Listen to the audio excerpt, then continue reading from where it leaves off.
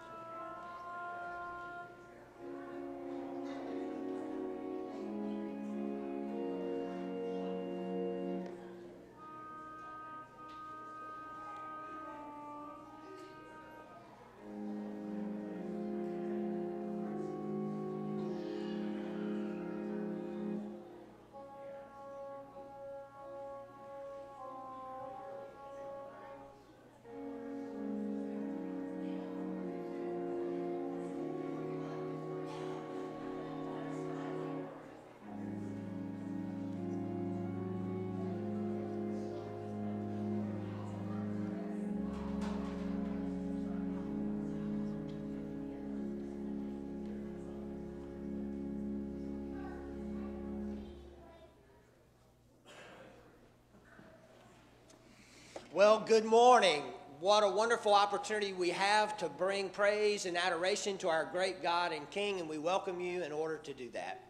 Let me say a special welcome to those who may be visiting with us. We're so glad that you're here. There's a little visitor's card there in the pew rack in front of you. If you'll fill that out, that just helps us as we seek to minister to you. But we trust that you will come and encounter Almighty God in a very special day, a special way in this day of worship. Let me say by way of announcement that we are in the midst of the baby bottle boomerang. And of course, we participated in this for many years. Our local crisis pregnancy center that we support uh, has a, a, fundraising opportunity by way of these baby bottles. And the idea is that they go to your house and they're filled with change or bills or uh, with checks, and then they boomerang back. And we get those to CPC and uh, they are enabled to raise a significant amount of money each year through that. So we hope that you'll take one there outside each of the doors um, as you go out um, this morning. And then, by way of prayer, I hope that you'll be praying for some of the upcoming youth events. The youth will be going to uh, Myrtle Beach this weekend, the middle school, and uh, we want to be in prayer for them. And then a couple of things that are coming up in the summer. You say, wow, that just seems so far away. It was 27 degrees this morning. Why are we praying for things this summer? Well, uh, June will come very quickly. Um, June the 13th begins our vacation Bible school. I want you to be thinking about that and praying about that, and that the gospel would go forth in power, and that we would see young lives changed uh, through the Lord Jesus. That's June the 13th. And then June the 25th begins our uh, mission trip for our youth as they go to the Bahamas. You've been hearing about that, and I'm sure you'll hear more and more about it as well. But be uh, praying for those um, opportunities of service and ministry as well. Then I want you to continue to pray for the Newmans and the passing of Miss Betty. We want to pray for their encouragement and strength. Um, also for Robert Cogdell, who was in the hospital last weekend with a, a mild heart attack, and he has recovered from that, is at home, and we praise the Lord for uh, the Lord's watching over him. And then Liz White, as she conti- continues to battle these kidney issues, and we've been praying for Joy Galloway and Ann Miller and Lewis Harrison as well. Hope that you'll remember them. And then Jack McClure is having surgery this Wednesday. He's going to have his knee operated on, and want you to hold him before uh, the Lord as well. And then tonight, I, I want to invite you back tonight.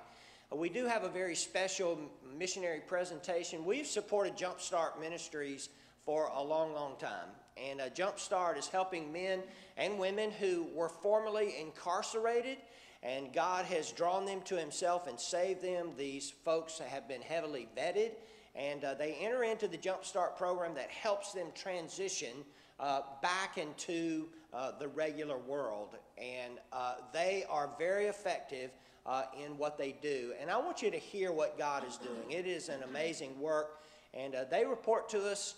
from time to time, and tonight is that opportunity. So I want to invite you back. I know that that'll be a great blessing to you as you hear what the Lord is doing. And then I want you to note that our last hymn today is probably going to be new. It's The Power of the Cross. It was new to me until we sang it at Presbytery just a couple of weeks ago.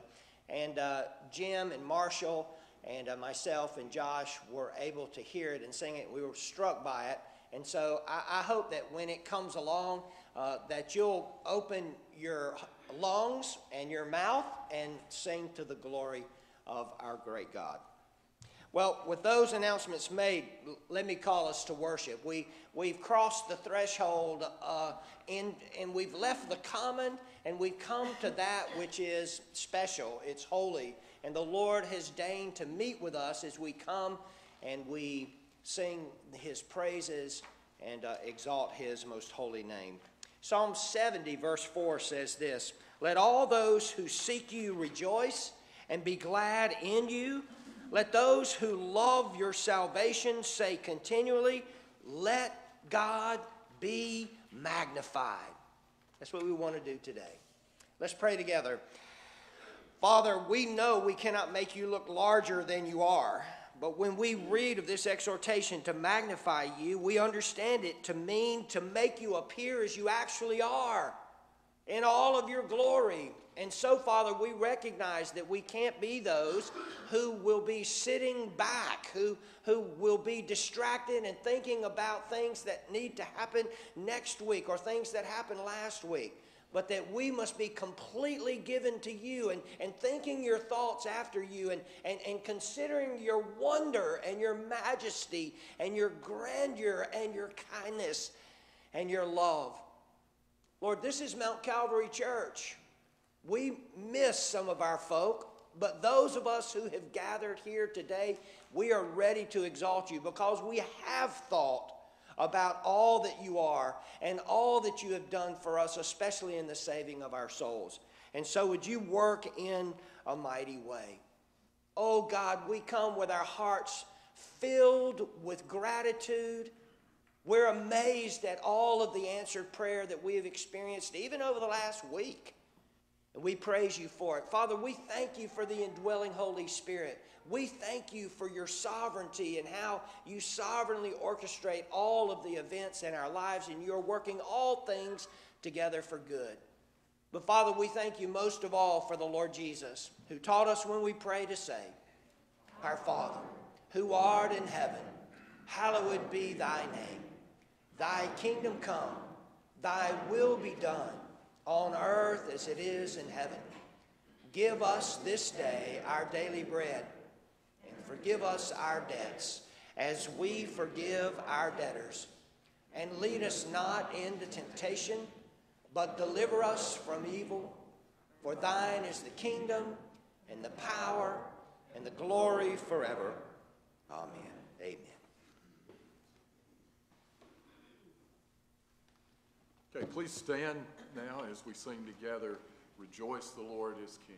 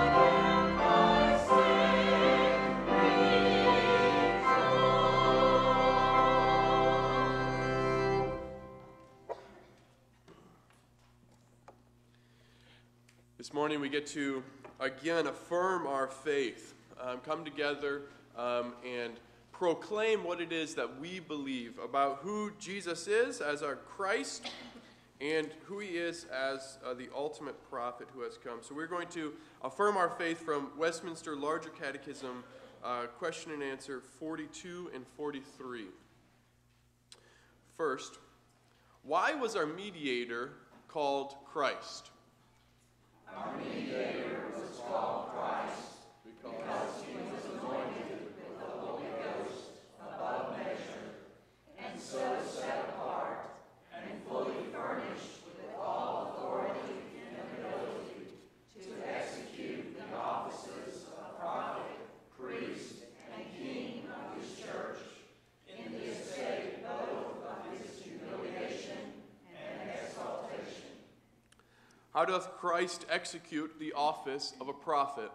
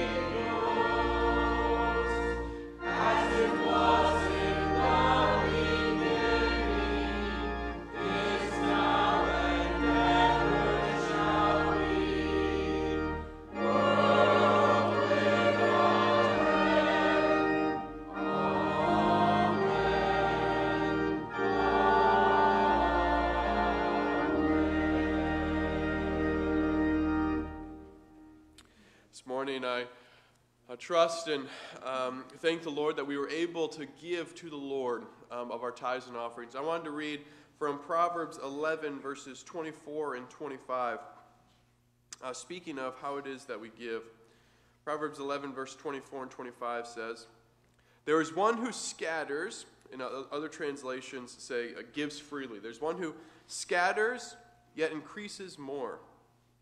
And there's one who withholds more than what is right, but it leaves to poverty.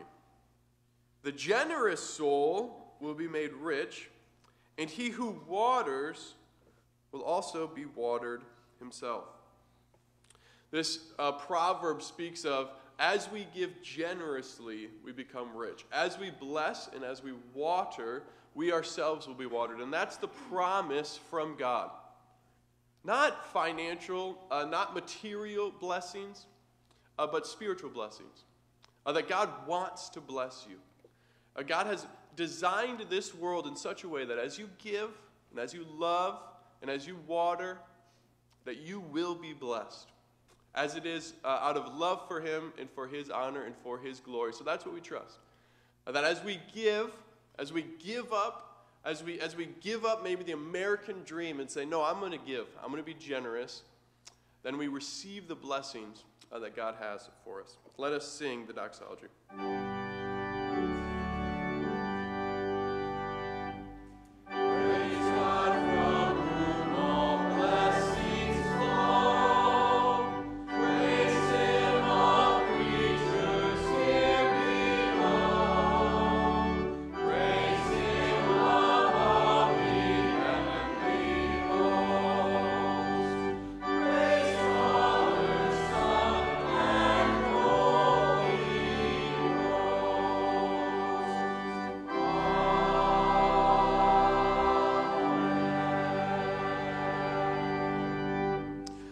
We thank you so much for all the good blessings that you've given us. Lord, you are so full of beauty and joy and happiness and good things, Lord, and you um, just delight to give us good things in abundance. We praise you and we thank you for that, Lord.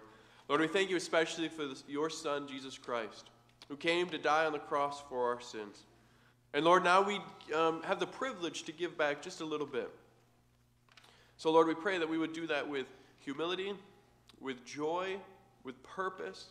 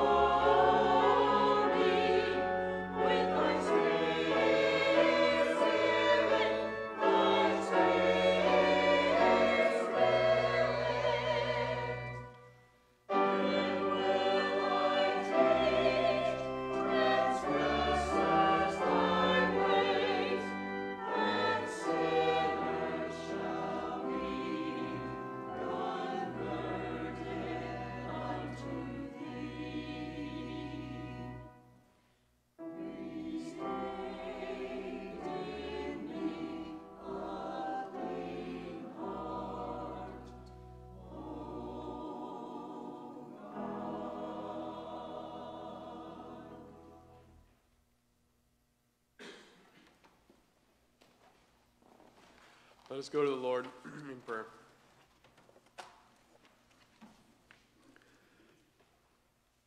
Father, we come to you this morning and we praise you for who you are. And Lord, we do ask that you would work in our hearts, that you would create in us a clean heart, that you would take away all of our sins, that you would blot out our transgressions, that you would cleanse us.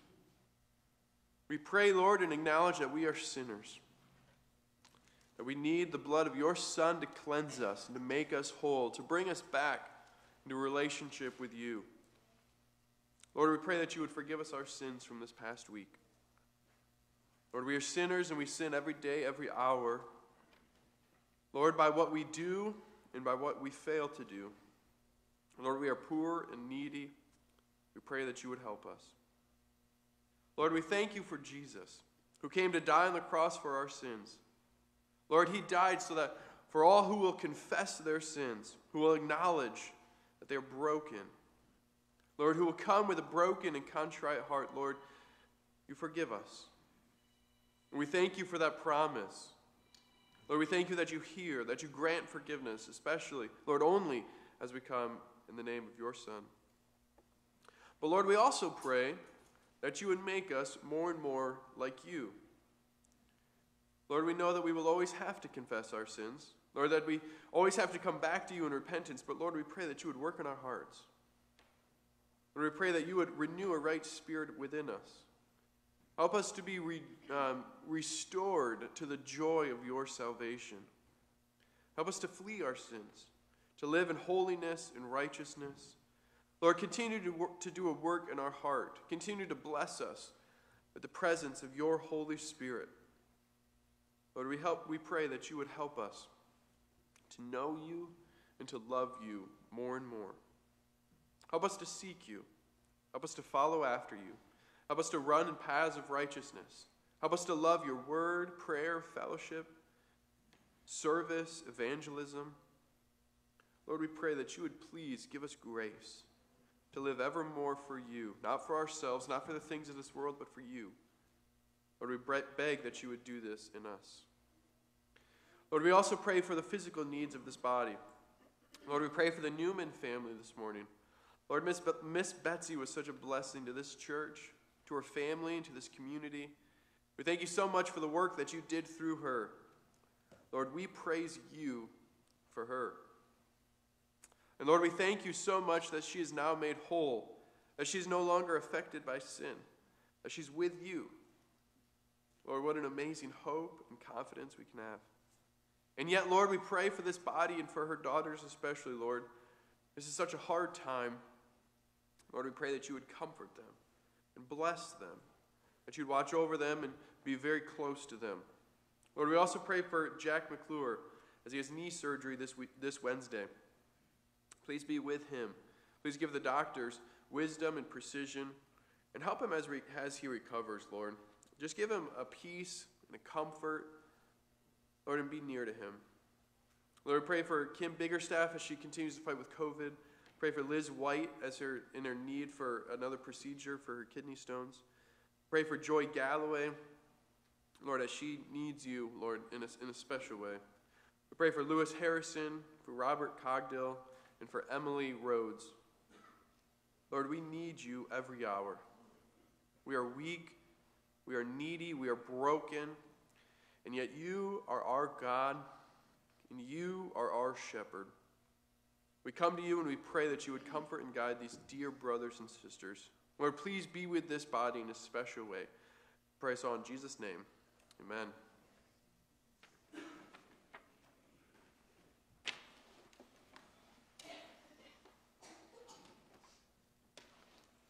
Three and four year olds may be dismissed for children's church now.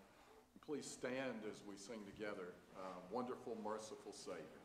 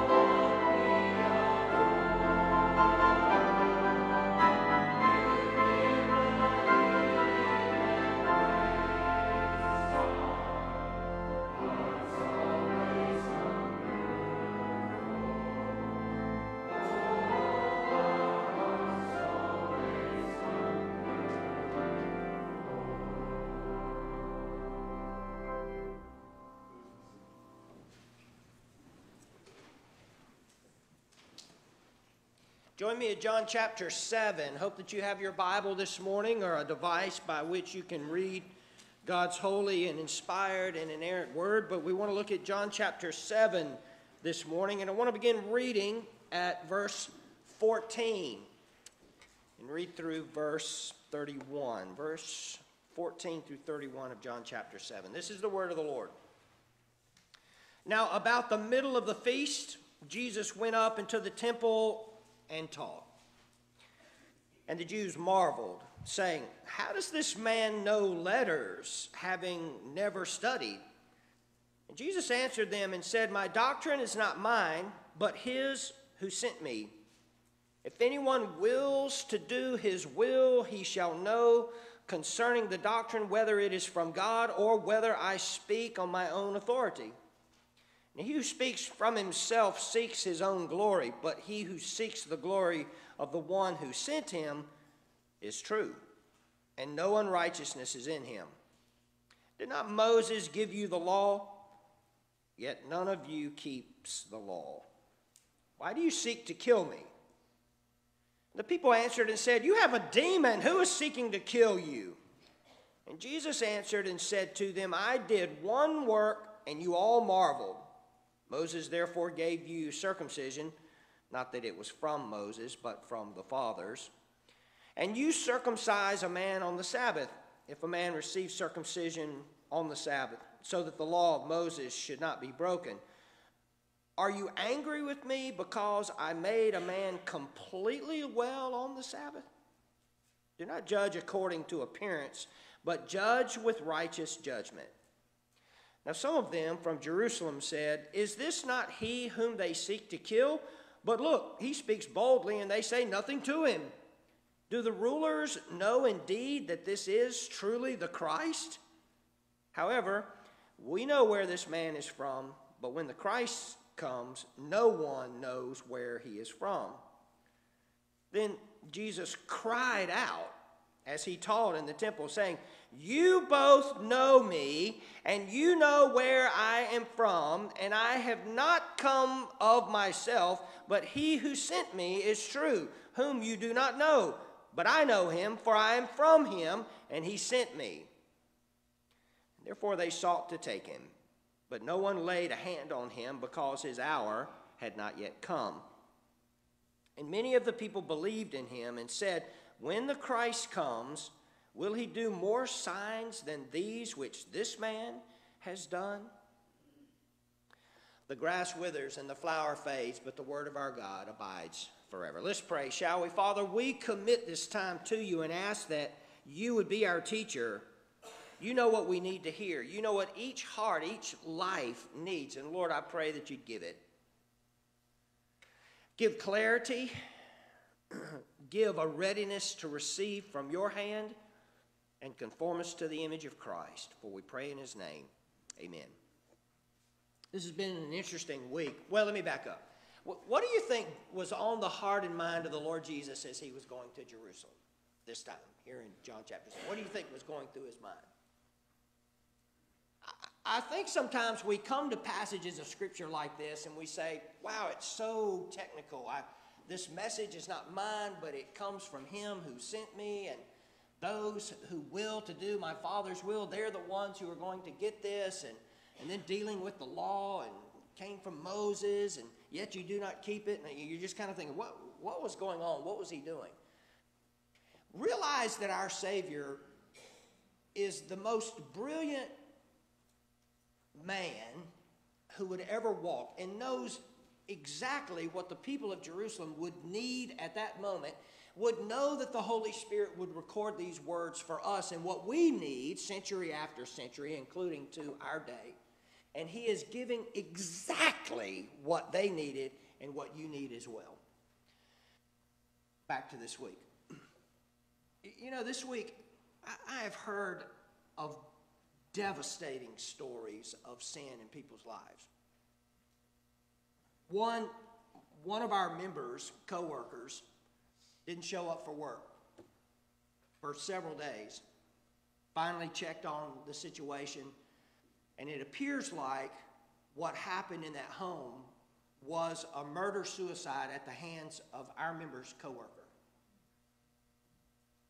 Um, I heard a story this week of, of, a, of an adult child being really rough on a parent, almost abusive on a parent. Um, I just think of my own life and my own sins. The, the things we struggle with. And you think about what was in the heart and mind of the Lord Jesus, yeah, you better believe He's the mediator of the covenant. And He's the prophet. He's the one who reveals His will and what's necessary for, for you in this moment to live life. Not, not only for the saving of your soul, but for the living of life moment by moment. This stuff is important. You know, our habit is to come to worship. I hope your habit is to come twice on Sunday to get as much preaching as you possibly can. Why? So that we can deal with the sinfulness of our own hearts and the sin in our world as well. You know, when we come to John chapter 7, in the early part, he's, the, the Holy Spirit has been revealing to us who Jesus is. Um, Jesus' brothers come to him, Why don't you go up and, and tell everybody, do all these signs and miracles before everybody and kind of flex a little bit and show out? Here in the passage that we've read today, it transitions from who Jesus is to what he's teaching. And that's the, the focus. Keeping in mind that Jesus is aware of what these people need. He's not, he's not being um, esoteric. He's not He's not dealing with things that are not really the concerns of the people of his day. He's dealing with exactly what they need. And what he's doing is, is he's putting them in a position to believe the truth that God reveals to, to them. That's what he's doing. And you know what? Not just to them, but to you. He's putting you in a position to be able to embrace the truths that he's teaching. And that's a marvelous thing. That's marvelous teaching. Wouldn't you love to have heard it? Wouldn't you have loved to have heard the whole sermon, the whole teaching? Oh, what an amazing thing to, to be able to hear, to hear that. Well,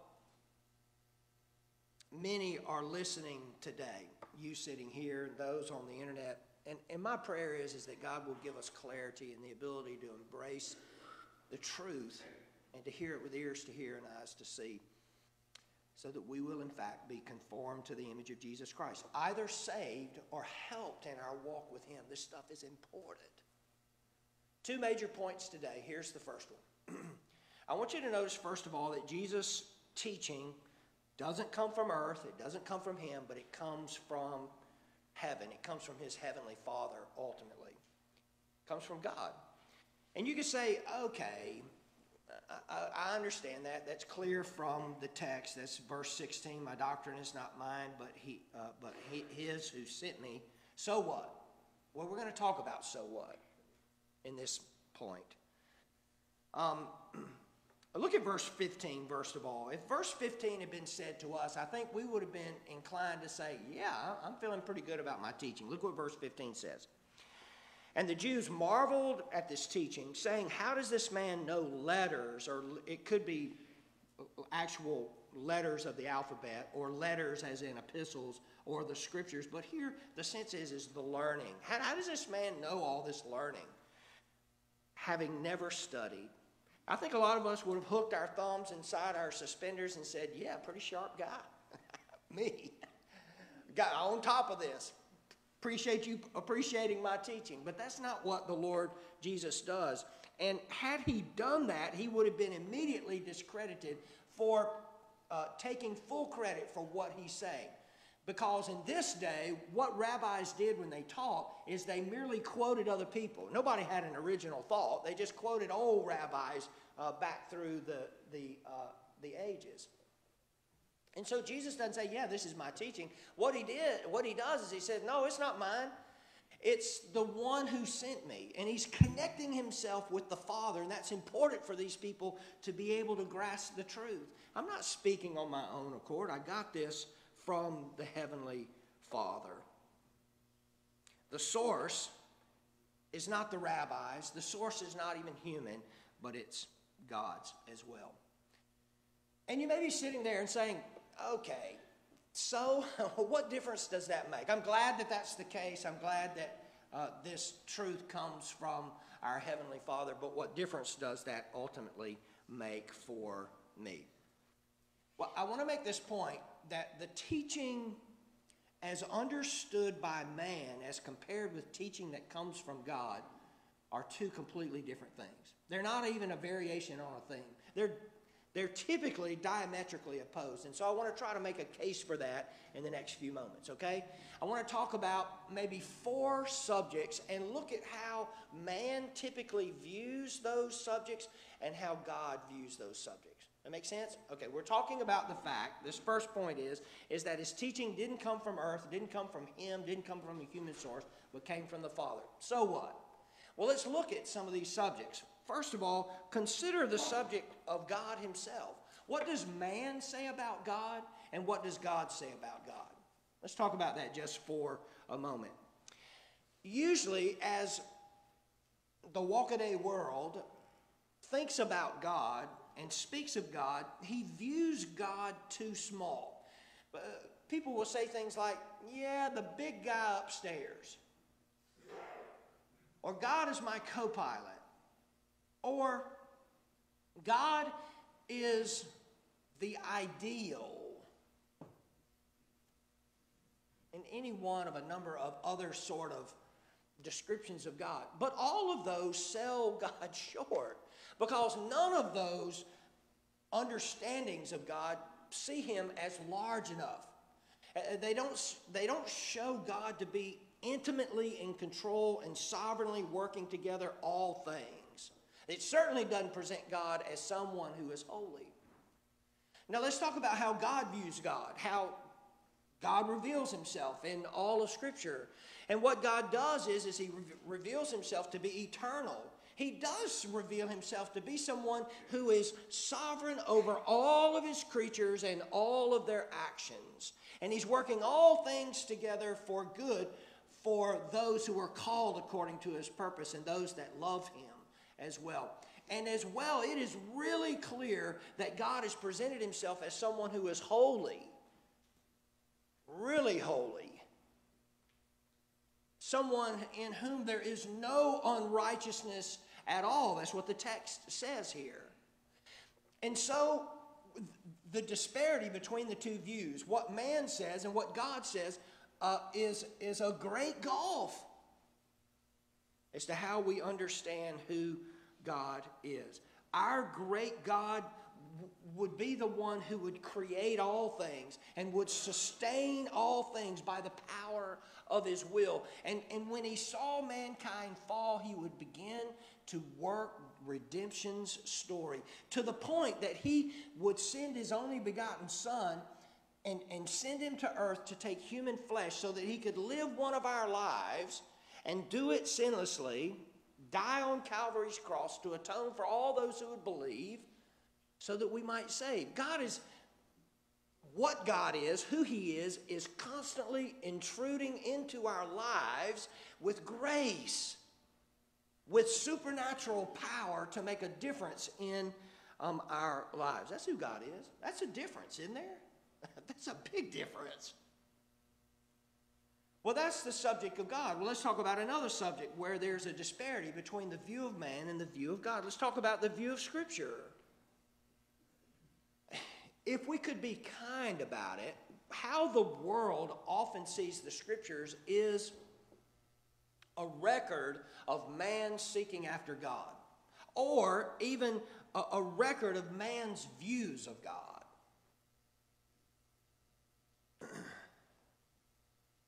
there are a lot of other things that are a whole lot worse that are said about the scriptures, but that I think that's a kind rendering of oftentimes what the world sees in the Bible. But God, God reveals Himself in His Word um, and he reveals his view of the word as something that is completely different. Not, not as a record of man seeking after God, but can't we clearly see that what the scriptures provide for us is a record of God seeking us? it's the exact opposite. And what a glorious seeking that has been. It, reveals, Scripture does, the fact that God requires perfect obedience on our part, and that man has failed in that and is a sinner and is separated from God by that sin. And so, what God does is He spends the balance of Scripture describing redemption story. You, you know, we've, we've said it many times that the, the very quick outline of Scripture is creation, fall, redemption. We've heard that a million times creation, fall, redemption. You know how many chapters we have in creation? Two. You know how many chapters we have in the fall? One. You know what the rest of the Bible is about? it's about redemption. And you start with those skins that God placed on Adam and Eve, and you, you walk through all of the sacrifices, and you walk through uh, the, the Day of Atonement, and you walk through the tabernacle, and you walk through the temple, and you walk through God trying to call his people back from sin throughout the prophetic books, and you walk through the Gospels and the presentation of who Jesus is, and the epistles as God is working out the story of redemption in actual local churches, and what you find is is redemption. redemption, creation, fall, redemption. That's a little bit different than saying that the Bible is a record of man seeking after God. Let me give you another, third subject here. Well, let me back up just a minute. Let me back up before we move on to a third subject. Let's, let's talk about it. Still, this view of Scripture. So, that, that leaves us with a question to be asked, doesn't it? Because some of you are not convinced that the Scriptures are really divine. Some of you are, and that's great. That, that is necessary, that is essential. But some of you are saying, I don't know, good book, well written, high standard, I'm going to respect it. But divine, I don't know about that. Or inspired or inerrant. Pastor, I hear you say that all the time. I don't know about that. I don't know if I'm going to, I don't know if I'm going to go that far. Well, if it is those things, it is our only foundation for living. It's what you have to build your spiritual house with. And if we build our spiritual understanding on anything else, it's like building a house on a foundation of a swamp. That house is going to settle, and ultimately it's going to fall in. You know, we, we, we back up and we, we, we do things with regard to religion, and we say, well, I'll tell you what, I'm going to be super energetic about this religion and super sincere, and that's what I'm going to depend on energy and sincerity and it's not going to work out. The story is told about uh, right after World War II, there were tons, there was a housing boom, and lots of houses were being built, and the houses were not being built very well. They were being thrown up. There was a couple who uh, purchased one of these houses. They were so excited just to have a house, and um, they moved in. First night was a really chilly night, and, and, and they were really excited about the house because it had a fireplace in it chilly night. And so they said, well, let's, let's start a fire. And so they did. And they're sitting before the glow of this wonderful wood fire there, and it's casting the, the uh, orange glow throughout the whole den. And then all of a sudden, the whole fire in the fireplace went out of sight. It dropped, it dropped through the floor, dropped down to the basement. And what had happened was, is that the builder had not put anything on the bottom of the fireplace that actually would hold a fire. It was just subflooring. And they didn't realize it. So the fire burned, caught the subflooring on fire. You know, it just looked like fire. And it burned a hole right in the floor. Bam, the whole fire ended up in the basement. And that's kind of like what it is when we build a spiritual house uh, on something that can't be trusted.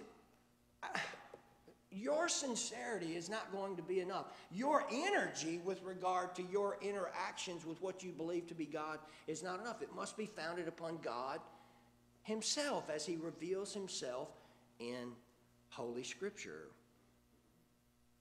Well, let me give you a, a third subject. We talked about man and God's view of God and of Scripture, and then thirdly, I want you to think about man's view and God's view of man. What does the world say about man? Well, it says, um, what the world says is, is that man is pretty good. Um, most people in the world would say, I think I'm better than most, and God would be thrilled to have me.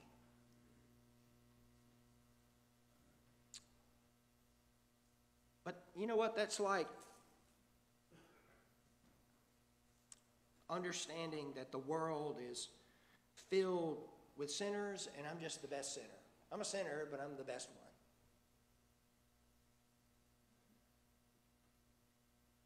And what does God's word say? Well, there's none righteous. There's none that does good. There's none that seeks after God. That we've all sinned and come short of this glory of God, this standard that He has raised up. But you know, if you have a difficulty seeing your own sinfulness, and we all do, we all have a, a, a, difficult time of, of standing apart from ourselves and looking back at ourselves and accurately assessing ourselves. We have a hard time doing that accurately. And you know, if, if that is the case, then what we have to do is we have to under, understand ourselves not by cons- comparing ourselves to others, but by measuring ourselves by the measuring stick of God's Word, of the law. Because what we do is, is we do what Jesus was addressing in the Sermon on the Mount. You remember what happened there? You know, the Pharisees were saying, Well, I've never killed anybody. and Jesus says, Well, that's a good thing. But you know, you think you've kept the law if you've not actually killed anybody, but if you if you have anger in your heart, if you say, and this was the Lord's word, raka, if you say, you fool, then you violated the command, thou shalt not kill. What? Whoa, whoa, whoa, whoa. You can't do that. And what we do is we're trying to compress the application of the law to where we can live with it and we're not caught on the horns of that. Same thing with sexual sin. I've not committed adultery. And the Lord Jesus says, Look, if you've uh, looked upon a woman to lust in your heart, then you violated that commandment. Thou shalt not commit adultery. What we try to do is compress, and what the Lord is doing is making the broadest application that the Scripture allows. And it's God's Word that exposes us. And you know, do we, do we have the courage to, to lay our lives before the scriptures in order to get an accurate read on us? I think a lot of times we just don't have that courage. And what we say is, is that the word is, is not divine. And I'm not, I'm not measuring myself by that. I'm measuring myself by my own measuring stick. Well, Guys, if, if I measure myself by my own measuring stick, I can say I'm seven feet tall. you with me? Story is told about a police officer that stopped a car in San Francisco. He stopped the car, he ran the plates, and uh, it turns out that the car is not even registered. In fact, he ran the plates, and it had 59 parking tickets against it. And so dug up the owner, and the owner was Joseph Alioto. Now, at this particular time, this is the early 1970s, Joseph Alioto was the mayor of San Francisco, and this was his son driving the car. and so uh, the police officer does his job. Mayor Alioto finally gets word of this, and when he gets word that he has a son driving a car, it's not even registered, all these parking, unpaid parking tickets, he explodes. In fact, what he does is he, he says, I want the records searched, I want to know all of my family members who are in this situation. So he finds out there are another eight Aliotos who have all these tickets against them. And, uh, and they are exposed. He ultimately pays their, their fines. I don't know what else he did with them or to them, but hopefully they, they felt the sting of the mayor's wrath. But you know, it's the Word of God that exposes us. And we need that exposure. We need the proper measuring stick to be able to see just exactly who we are. There's one other category. I've got a bunch more here, but I don't have time. Just one more category. I want you to see how the world views and how God views in this category. And that is the person of the Lord Jesus. God, Scripture, and now the Lord Jesus. The world as is recorded in the text. We can look back through John chapter 7. Verse 12 says, Oh, Jesus is a good man. Verse 12 also said, No, no, he's a deceiver. Verse 40 says, He's a prophet. Verse 20 says, He's a demon, or he has a demon. Verse 46 says, Oh, no one ever spoke like this. So they're all over the map with regard to who the Lord Jesus is. So, what does the scripture say about him? The scripture says that he is the eternal Son of God, that he has existed forever, that he is very God of very God, and that in time and space he took human flesh and he came to earth and he died an atoning death so that we might be saved. That's who Jesus is. And that he died, he was raised from the dead, and he ascended to heaven and he sits at the right hand of the Father right now. That's who he's that's what the scripture says that he is. Now, you say,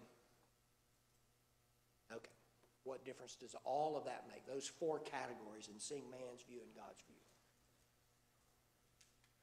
What this tells us is, is that God's doctrine and only God's doctrine, only God's view, what verse 16 is saying.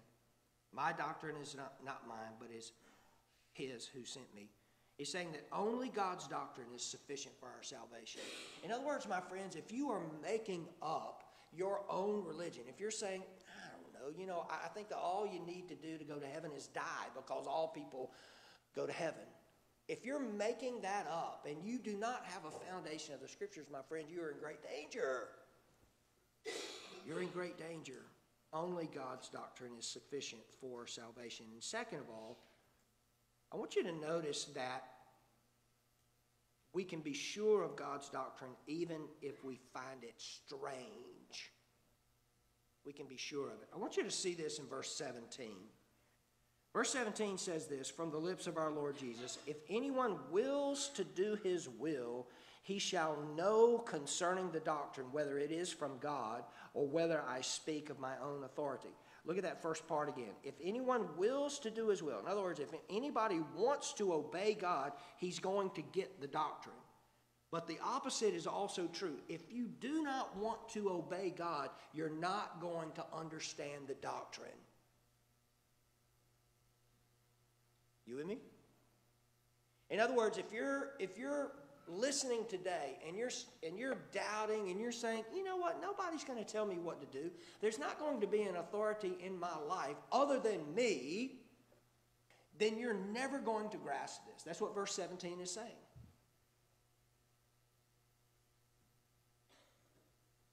If a, if a man, a woman, a boy, a girl determines in advance that he will live by this truth, that he is serious with God, then God discloses that truth to him.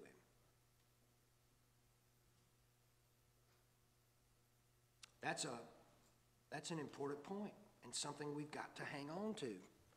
Now, I said that there were two major points in this sermon. We just completed the first one, and that is that this truth that Jesus is presenting, this marvelous teaching, is not from man, it's not from earth, but it comes from the Lord Jesus, Heavenly Father. Here's the second thing I want you to see, and it's really from verse 21 through 24. Let's look at the text, and then I'm going to give you the point. Verse 21, Jesus answered and he said, I did one work. And really, what he's referring to is the work he did recorded in John chapter 5 when he heals the man at the pool of Bethesda. And you'll remember that that took place on the Sabbath day. So this is what he's talking about. Look at verse 21 again. I did one work and you all marvel. Moses therefore gave you circumcision, not that it was from Moses, but it was from the fathers. You'll remember circumcision actually came to Abraham in Genesis chapter 17. Moses picked it up, enshrined it in the law, so they putting all this emphasis on Moses. Um, and so that's why the uh, parenthetical statement here. And you circumcise a man on the Sabbath, which, if he, you circumcise on the eighth day, if the eighth day fell on the Sabbath, in order to keep the law, they believe, you, uh, you circumcise on the Sabbath. But notice verse 23. If a man receives circumcision on the Sabbath so that the law of Moses should not be broken, are you angry with me because I made a man completely well on the Sabbath? I healed the man who was lame. He was waiting for the waters to be moved, for somebody to throw him in the waters there in John chapter 5. And you guys are torqued with me because I made somebody completely well. Don't you see that circumcision on the Sabbath is merely an indicate it's just a picture of the cutting away of sinful flesh, but here I'm making his flesh new on the Sabbath day, how can you have a problem with that? Verse 24 Do not judge according to appearance, but judge with righteousness. Now, let me make a, a point. Here's the second major point, and, and it's this is that the law here is being used to drive us to Jesus. The law here is being used to drive us to Jesus, and that's what the law is all about. What they were doing is, is they were saying, no, no, no. The law is something by which we get clean. The law is something by which we get saved, hence all this imp- uh, uh, focus and importance being laid on it. You see, the law is like a mirror, and what we do is we see ourselves in the mirror of the law. And seeing that we come up short or that we are dirty, it drives us to a Savior. And that was the intention of the law throughout uh, it, it, its existence and its force. You know, we look at ourselves in a mirror and we see that we're dirty and we should run to Jesus. What they were doing is looking themselves in the mirror and saying, Whoa, I need to get clean. Let me see if I can clean myself with a mirror. Anybody ever tried to clean the dirt off their face with a mirror? Well, no, that's ridiculous. Nobody's done that. But that's what they were doing. Oh, you keep the law and you get clean. No, no, you don't. It was the, the end of the 12th century, and Scotland and England were at war. And the English were on the heels of Scotland's king. Scotland's king in the end of the 12th century was Robert the Bruce. And they were chasing him down, and he was on the run, and they were nipping at his heels. And he's moving down the road and he's saying, I'm not putting any more distance between myself and the pursuing English soldiers. And so he gets off the road and dives down into this very deep, thick forest. And he's making his way through the forest and he's thinking, things are, things are getting better. They sound like they're, they're further away. And then he hears a sound that just crushes him. He hears the baying of hounds. And not just any hounds, but he can tell they're his hounds. And what the English soldiers had done is they had, they had gotten his hounds, captured them, said, hey, put him on, they put them on the scent of their own master. And they're like, hey, it's great. Let me go see my master. His dogs often do.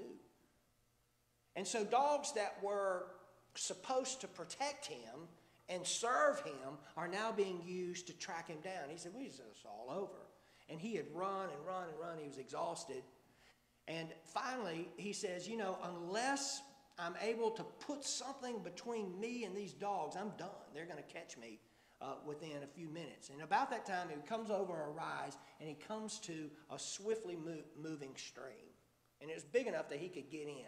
And he got in it immediately, jumped right in, and the stream very quickly swept him downstream. And he, he just stayed in the stream and floated and was swept very quickly for about a mile. And finally, after a mile or so, he gets out on the other side of the stream and he hides. and he listens. And he can hear these hounds coming towards where he had gone into the stream, and then they stop.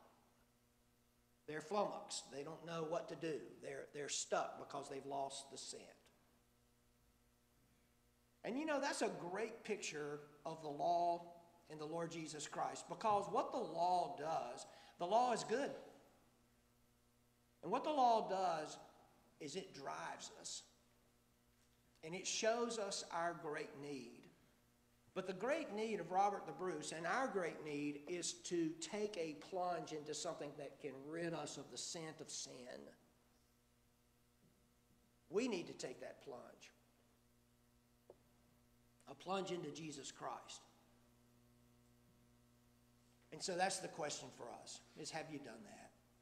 Have you come to the Lord? Because that's the only thing that can rid you of your sin. It's not the keeping of the law. It's not your religiousness. It's not your energetic following of, of some sort of religious rite. It's not church membership or baptism. It's only Jesus. It's only the blood of Jesus that can wash you. And you know what? The only thing that can strengthen and bless you to be able to live a life where we don't do the things that I described at the outset of this message, where people are taking other people's lives and taking their own life, where people are abusing others, where we're just fighting our own personal sin, our gossip, our anger, our lust, all of those things. It's only Jesus. It's only Jesus. And so the question is, is have you plunged into him immediately and without reservation said, Jesus is the one who can help me? Jesus has this very technical presentation in John chapter 7, but you can bet on his mind is you.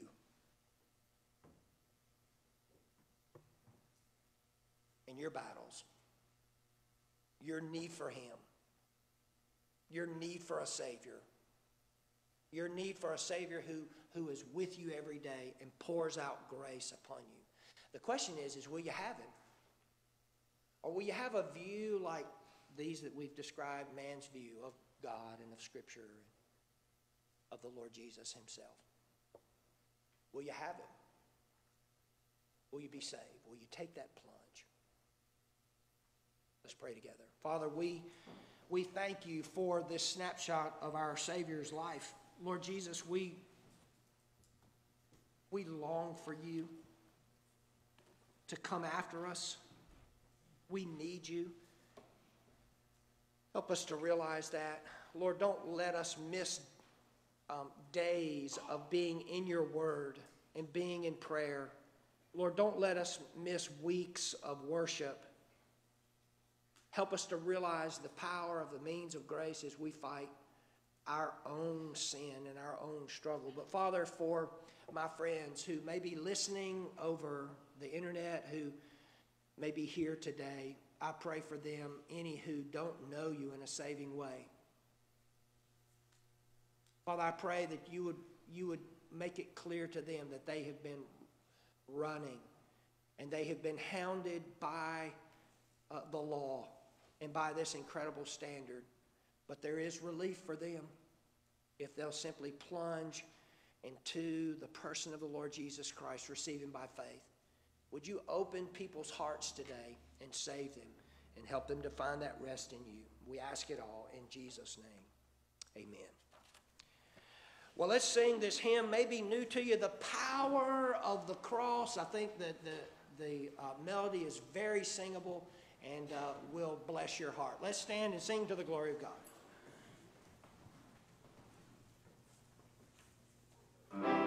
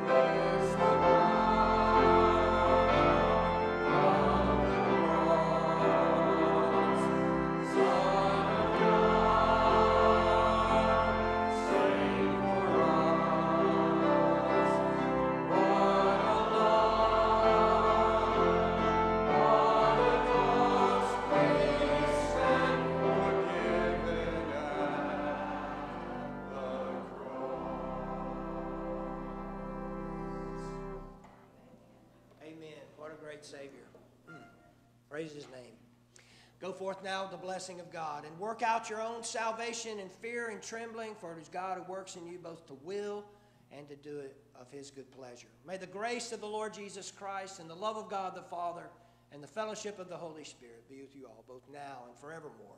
Amen.